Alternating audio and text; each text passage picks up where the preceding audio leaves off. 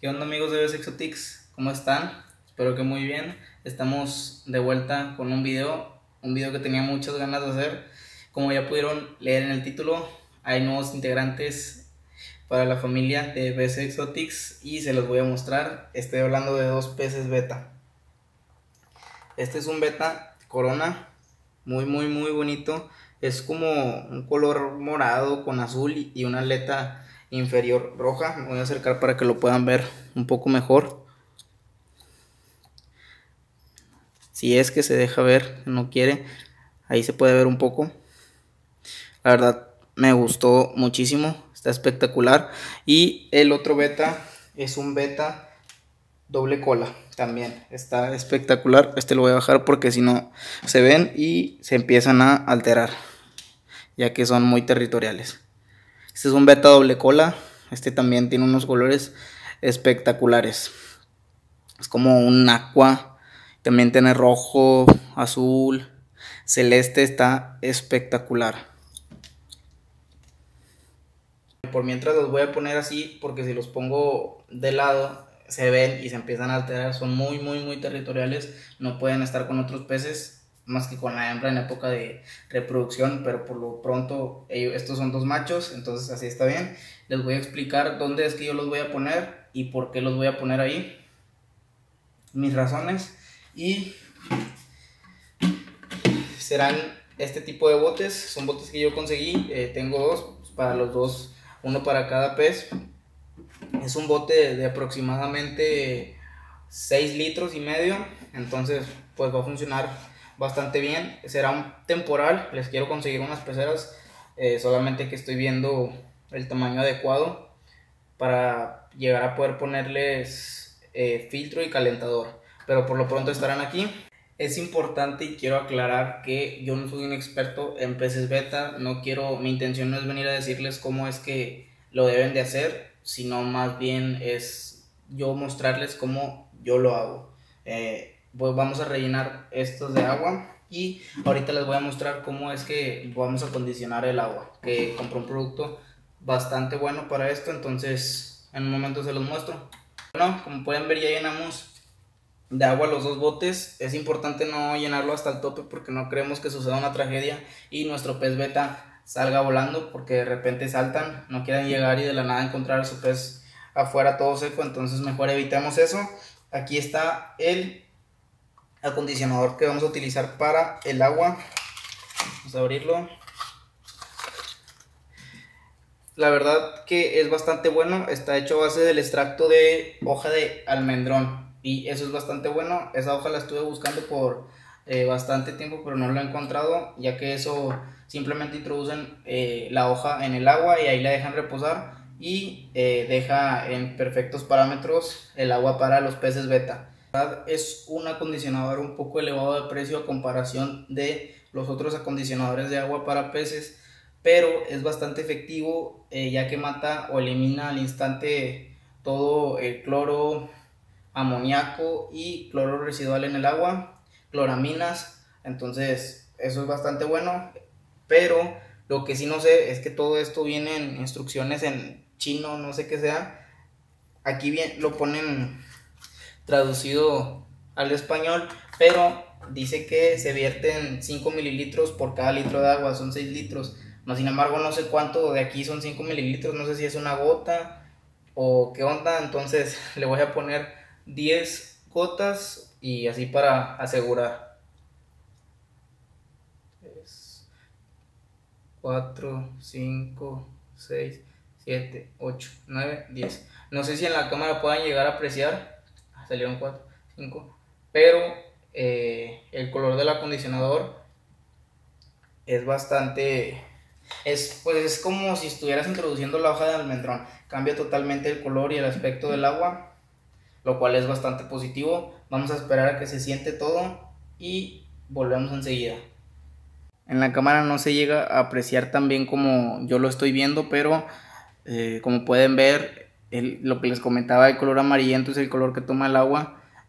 Eh, es bastante bueno eso, ya que es el color que toma cuando se le introduce una hoja de almendrón. Entonces vamos a, a ver qué pasa. Vamos a esperar unos cuantos minutos a que se acondicione ya perfectamente el agua y vamos a proceder a pasar los peces. Bueno, mientras acondiciona el agua quiero hablarles un poco de cuál creo yo que es la mejor manera para tener peces beta. Eh, mi caso es que yo los quiero reproducir. Entonces, obviamente no puedo comprar 20 peceras. Tengo que ver con el paso del tiempo cómo vamos evolucionando con esto porque pues eh, es la primera vez que tengo peces beta. Siempre había querido tener, pero no, había, no me había dado la oportunidad. Entonces, por eso estoy muy feliz de tenerlos. Pero, pues los quiero para reproducir. Es mi intención. Si veo que eh, no se me da, pues ya les voy a plantear una pecera ya con su filtro y calentador. Que eso es lo ideal para peces beta de mascota.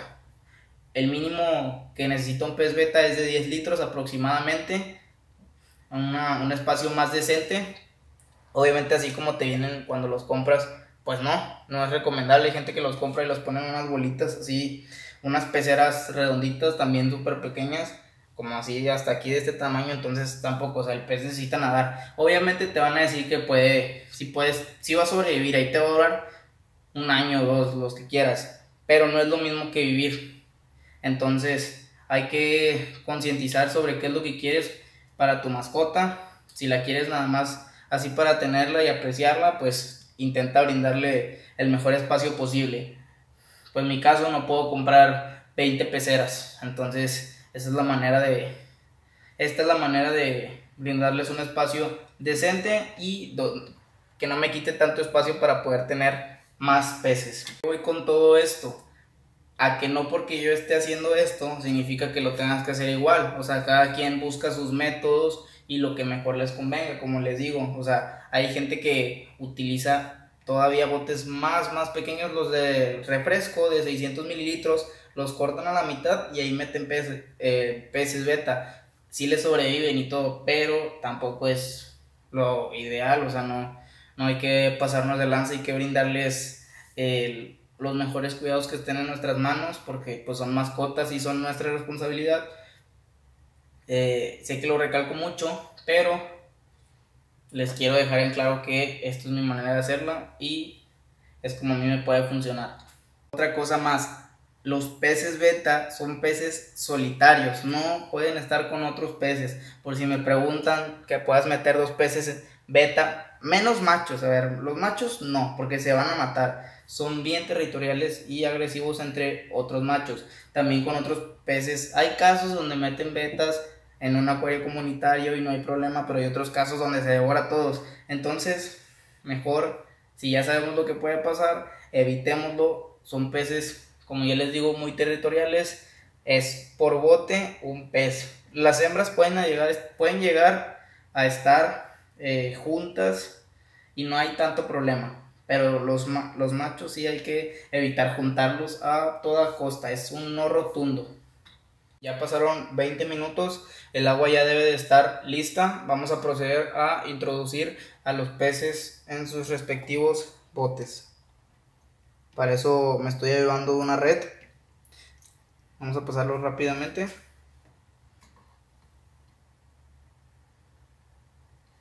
Vamos para atrás, listo. No es el espacio más grande que pudieran tener, pero es más grande que esto en donde vivían. Entonces la verdad creo que van a ser más felices de lo que eran. Vamos a pasar al segundo pez. Este no se quiere dejar. Y la red no cabe en el bote tan pequeño.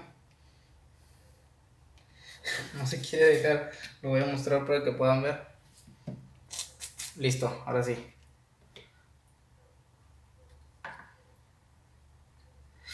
Salen a dar pececito. La verdad creo que en mi opinión van a estar mucho mejor ahí que en donde estaban. Este es el alimento que les voy a manejar. Es un alimento de Tetra Beta Plus. Son pellets, pellets pequeñitos. Así es como se ven en sus nuevos hogares los pececitos. Tuve que cerrar la ventana un poco para que se pudiera apreciar porque era demasiada luz y no se reflejaba en el bote y no dejaba ver a los peces. Eh, espero que vivan felices ahí donde están.